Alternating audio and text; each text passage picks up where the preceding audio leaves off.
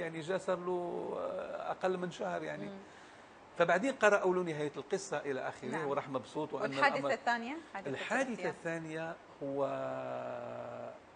كان فيها رجل اسمه وسيم الأحرش رجل مسالم وما خصه يعني. عامل في الأمم المتحدة ورجل طيب ويروح لعمله ويرجع لعمله من نفس منطقتي يعني من نفس مدينتي يعني. ففي يوم من الأيام وأنا أشتغل أنا كنت رحت لباريس وإذا بي أجد بالبيت مجموعة تليفونات في أصدقاء اتصلوا نعم. وكلهم يسألوا آه على وضعي. فبعدين عرفت من هؤلاء الأصدقاء انه انه أنه في شخص قتل وأعلن على مقتله في في في قنوات فرنسية كثيرة وربط به حتى في ميديان المغربية كمان ربط حتى في جريدة جزائرية اسمها النصر. ابانوني في الصفحة الأخيرة يعني, يعني. نزل إيه إيه نعي والصورة وكذا رح نرجع إلى نفس الموضوع طولنا شوي على الفاصل تعذرنا المخرجة. نلتقي بعد قليل مع الروائي وسين الأعرج.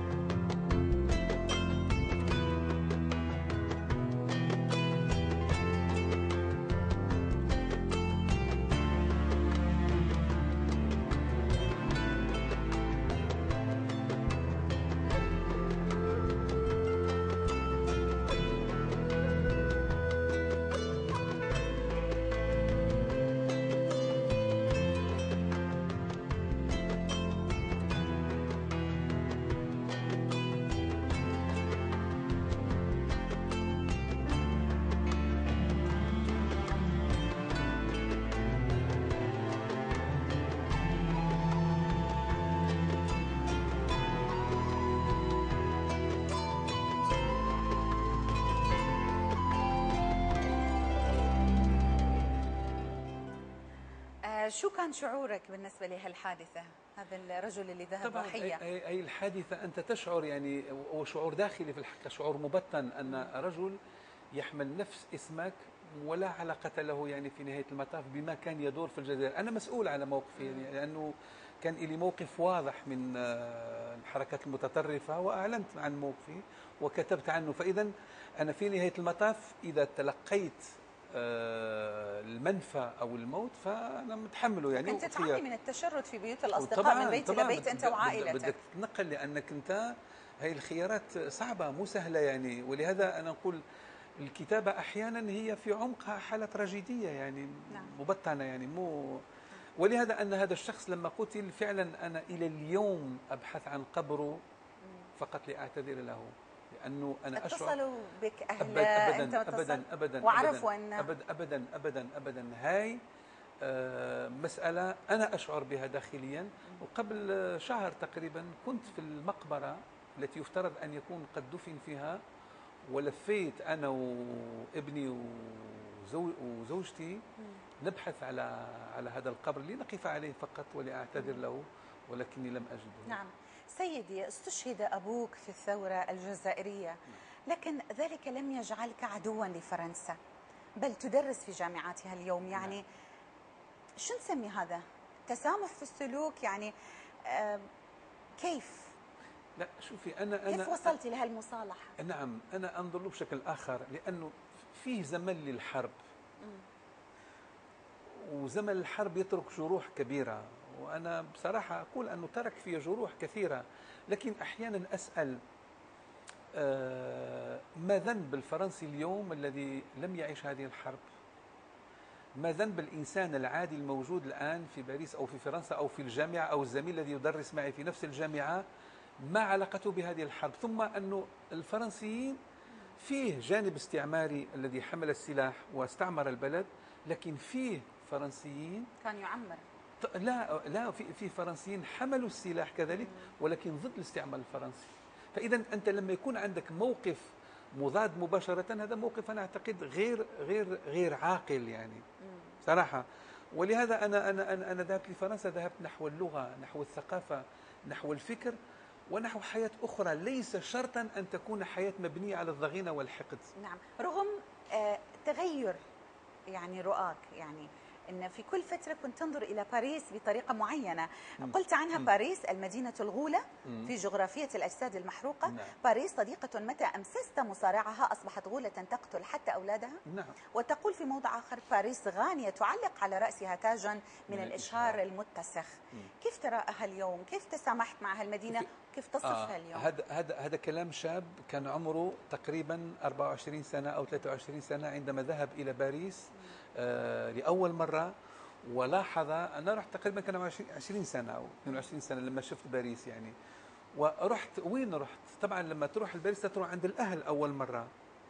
فرحت المناطق اللي كان فيها العمال الجزائريين وكان الفترة التي ذهبت فيها إلى باريس كان ال- العنصرية ضاربة أطنابها ضد ال- المغتربين من العرب وتحديدا من المغرب العربي وأكثر من ذلك من الجزائر. الجزائريين يعني لأنهم الأغلبية بفرنسا فإذا الصورة التي وردتها عن باريس هي صورة غريبة مرتبكة. صورة المدينة الجميلة التي تمنحك الحرية تمنحك اكتشاف عالم النور، آخر مدينة مدينة النور. وت- وتمنحك فرصة لاكتشاف عالم آخر مخالف لما تحمله في ذهنك. لكن في الوقت نفسه كل يوم أقرأ أخبار في الجرائد وكتابات على الحيطان كتابات عنصرية. ولهذا عندما كتبت هذا النص كتبته من شيء صادق. قد يكون ساذج. وليد لحظة وعي و- معين. آه قد يكون ساذج لكنه صادق في عمقه. لكن فيما بعد أنت بينك بين المسافة الفاصلة بين هذا النص وبين هذا الرجل الذي يشتغل في باريس ما لا يقل على عشرين سنة. نعم. فإذا كان عشرين سنة لم تفعل فيك شيء أنا أقول في ستين داهية هي العشرين سنة. طيب. إذا ما أثرت فيك يعني تأثير إيجابي طيب اليوم شلون تشوف هالمدينة بعد هالعمر؟ آه أنا من أجمل في عبارة. آه من أجمل المدن التي أحبها هي باريس لأن تمنحني فرصة لكي أكون بس نعم تجربة الموت اقترابك من الموت التجربة الأخيرة النوبة القلبية اللي نعم. عشتها نعم كيف آه، ممكن تقول آه، لنا كم تغير من آه، من واسيني تجاه يعني فكرة الموت. يعني أنت قلت مؤخرا لا يقين في الدنيا سوى الموت. نعم. يعني كيف شوفي- خرجت من هذه شوفي التجربة أن أنه لأنه هاي التجربة جاية ضمن سلسلة من التجارب. يعني بصراحة أعود مرة إيه. أخرى لكي أتحدث على البطل التراجيدي. يعني هو يذهب نحو نهاية محددة وكل وقت كل عمره يعمل كيف يتفادى هذه النهاية المحددة؟ وهي مصير البشر يعني مش. مصيري فقط. آه. مش مصيري أنا فقط يعني كفرد. فتفاديت الموت سابقا مثل ما تحدثنا لكن هذه المرة تفاديت بالكتابة. أنا لما أصيب بالنوبة القلبية كنت أشتغل على نص عزيز علي كثيرا وهو سوناتا لأشباح القدس. يعني أولا آه، نص موجة لفلسطين قضية فلسطين اللي هي جرح يعني عميق.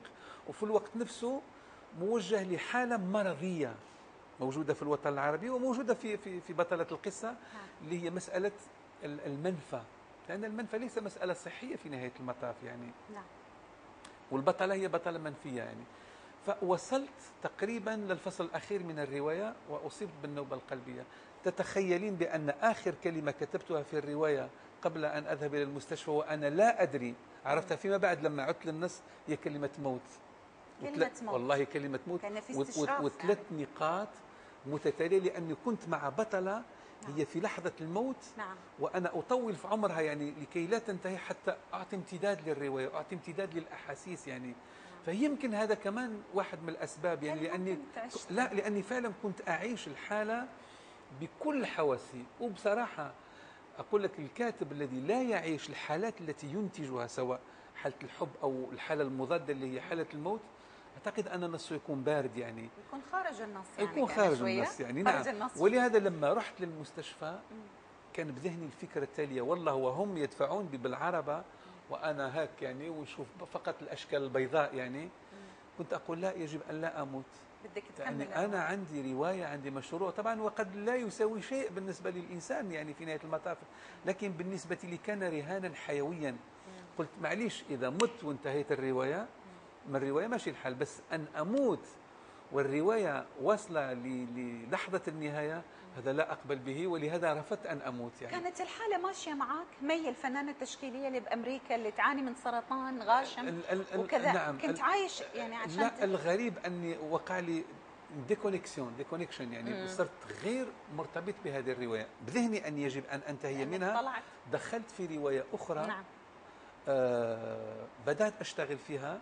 وعندي عندي خلقت لها بطلة خلقت لها شخصية خاصة ورواية حادة وعنيفة جدا جدا جدا جدا يعني. الإيروتيكا؟ إيروتيكا نعم. تبدأ من البداية آه امرأة صحفية إعلامية باحثة متخصصة في في السير في سير الكتاب وتريد أن تنجز سيرة عن كاتب يطلع في النهاية حتى لا أطيل نعم. يطلع في النهاية أنه أبوها يعني. حد بس ما كتبتها كتبت أنثى السراب طلعت أنا منها أنا كتب هاي رواية ذهنية وأنا آه. أؤمن عشتها. بأن عندنا أنا بيتي مؤثث بالرواية الذهنية لا أدري إذا كان الله يمنحنا عمر أنه أنه ننتهي لكن فعلا نعم. في كثير رواية ذهنية عن الموت آه، كتبت عبارة جميلة أو فقرة يعني عن الموت إن ثمة سيناريوهات أنت كنت حاطها لروحك كيف نعم. تموت نعم. كل الحسابات وفعلا هي يعني مؤذية ومؤلمة كل الحسابات التي خمنتها سلفا كانت خاطئة كنت أتصور مثلا أني سأموت على يد مواطن معتوه يظن أني سرقت حبيبته مثل. الحادثة. الأولية. أو على لسان إمام أعمى وأطرش أو ربما في طائرة ترتفع ثم تنسحب من الرادار ولن يجدوا لها أثرا أو حتى سرطان مفاجئ وغاشم فلا أحد فوق الصدفة المميتة ولكن أن يخدعني قلبي فهذا لم أتصوره أبدا طبعا. على الأقل بالشكل الذي حدث معي معك طبعا لأن بينك وبين قلبك علاقات مصالحة جميلة كما ذكرت. وكبيرة جدا. يعني أنا أنا راح أقول لك يعني أغنية مصرية قلبي دليلي. بس فعلا يعني أنا أنا قلبي دليلي. معناته عندي عندي نوع من أشم رائحة الأشياء. لكن ما أشمها بأنفي أشمها بقلبي.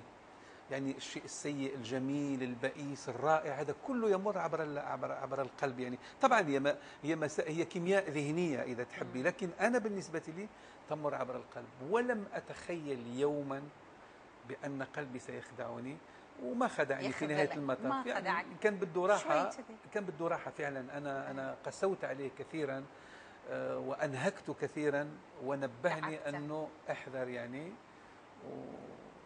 كتابه وإنتاج غزير والسفر بين جامعة الجزائر وبين السربون و يعني بعد خمسين عاما من احتراف الكتابة تقول الكتابة رهان خاسر لا أصدق لأنك تعيش الكتابة يوميا رح نرجع مع نعم. الروائي وسين الأعرج نعم.